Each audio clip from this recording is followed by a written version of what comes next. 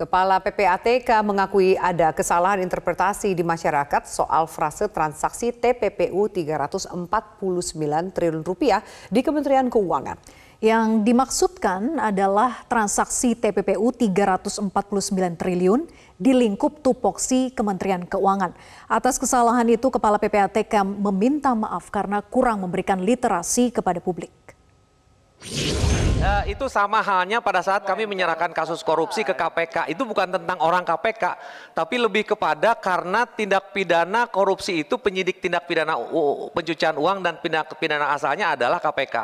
Lalu pada saat kita menyerahkan kasus uh, narko, narkotika kepada BNN, itu bukan berarti ada tindak pidana narkotika yang ada di BNN, bukan. Itu terkait dengan tusi BNN. Sama pada saat biaya cukai maupun pajak, itu karena karena memang uh, urusan kepabianan ekspor impor itu uh, bea cukai. Pasal 74 yang uh, yang mulia semua bikin itu kan penjelasannya mengatakan bea cukai adalah tindak penyidik tindak pidana asal. Nah kemudian perpajakan itu yang angkanya besar. Nah oleh masyarakat ya kesalahan kami juga literasi publik kami kurang uh, apa melakukan kampanye dan segala macam. Memang pemahamannya agak sulit.